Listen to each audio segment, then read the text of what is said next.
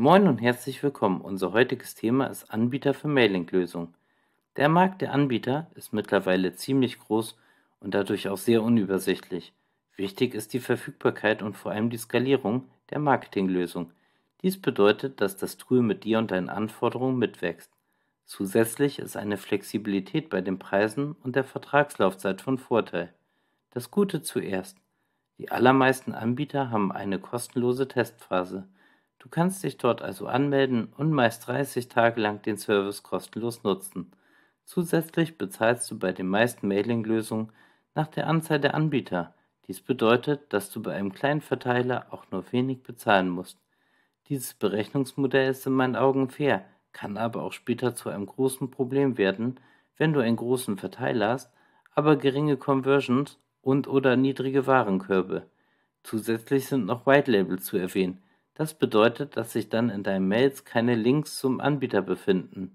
Auch die CRM und anderen Automatisierungsmöglichkeiten bin ich ja bereits in Kampagnenbeispielen eingegangen.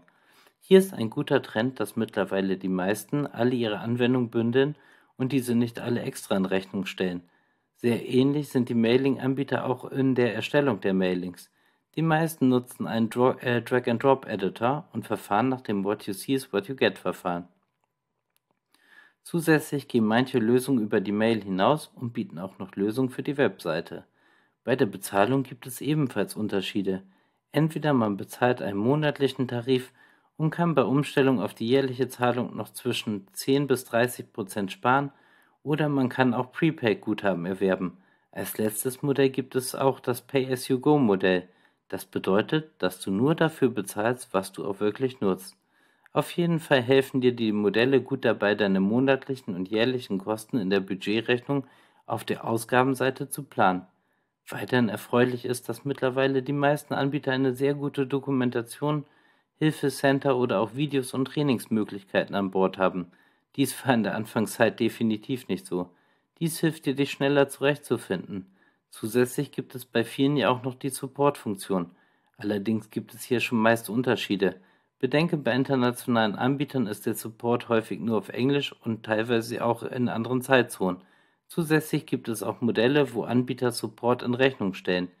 Dies kenne ich allerdings meist nur in der Funktion, dass der technische Support dann auch Lösungen speziell für dich entwickelt. Allerdings hat man dann hier meist Stundensätze zwischen 100 bis 200 Euro. Auf der Anbieterseite gibt es natürlich auch die verschiedensten Ausrichtungen. Es gibt die klassischen Versandlösungen. Andere Anbieter legen einen starken Fokus auf Design, während wiederum andere eher bestimmte Segmente abdecken. Diese spezialisieren sich dann auf Automatisierung und deren Auslöser oder sogar die Erstellung und Einlösung von Coupons. Ein weiterer Trend ist auch die Hyperpersonalisierung. Das bedeutet, dass der Empfänger nicht nur mit dem Vornamen angesprochen wird, sondern ihm auch eine Reihe von Empfehlungen basierend auf seinen Daten gemacht werden. Auch die Verwaltung der Verteiler und Aussetzen von Automatisierung ist um ein Vielfaches einfacher geworden und somit weniger technisch. Dies hat den Vorteil, dass sich jetzt viel mehr Leute das Thema E-Mail, äh, dass jetzt viel mehr Leute das Thema E-Mail-Marketing betreuen können. Auch die Datenbanken und die ganzen Informationen zu speichern werden immer leistungsstärker. Auch Komponenten für künstliche Intelligenz kommen hinzu. Hier geht es dann darum, aufgrund der Analyse und dem Öffnungsverhalten beispielsweise den bestmöglichen Versandzeitpunkt für die einzelnen Nutzer zu wählen. Äh, worauf ihr achten solltet, ist auf jeden Fall das Thema DSGVO. Die meisten Unternehmen in der EU erfüllen alle Voraussetzungen und haben auch eine gute Dokumentation und Auskunftsmöglichkeiten. Bei den Anbietern aus Nicht-EU-Ländern sieht es häufig anders aus. Allerdings haben diese bereits auch die Möglichkeit, den Ort der Datenspeicherung innerhalb der EU zu wählen. Hier müsst ihr euch Rat holen und abwiegen, welche rechtlichen Standards für euer Unternehmen erfüllt sein müssen. Mittlerweile gibt es ja viele Möglichkeiten, um sich für einen Mailing-Anbieter zu entscheiden. Neben den, äh, neben den gängigen Bewertungsplattformen wie Trusted Pilot oder Trusted Jobs empfehle ich euch auch auf jeden Fall die OMR Reviews. Zusätzlich kannst du dich in deinem, Segment, äh, in deinem Segment oder Netzwerk austauschen. Besuche auch gerne Messen zum Thema E-Mail-Marketing. Gerade bei größeren und teuren Entscheidungen macht es Sinn, einige Referenzen anzufragen und sich mit diesen auszutauschen. Und auch der Bereich der Videovorstellung einzelner Anbieter ist in den Jahren gewachsen. Äh, hier immer die bekanntesten Anbieter. Dies wären RapidMail, Sendinblue, HubSpot Marketing Hub, Mailchimp und Cleverreach. Ich persönlich habe lange mit Selligent gearbeitet.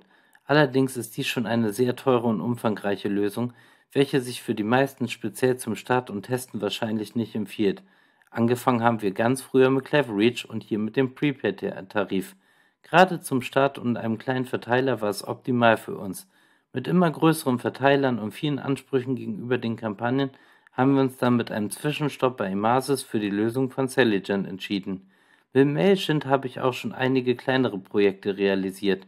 Die Lösung ist intuitiv und somit einfach zu bedienen und sieht einfach klasse aus.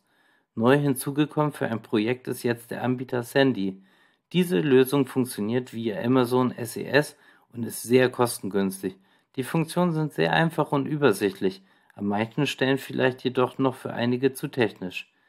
Am besten macht ihr euch einmal Gedanken, was die Lösung unbedingt können soll und was die Nice-to-Have-Anforderungen sind.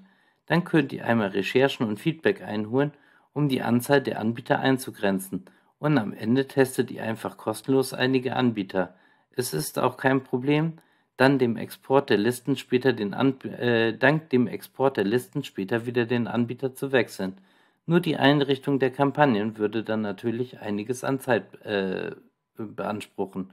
Viel Erfolg bei der Planung und auch bei den Recherchen.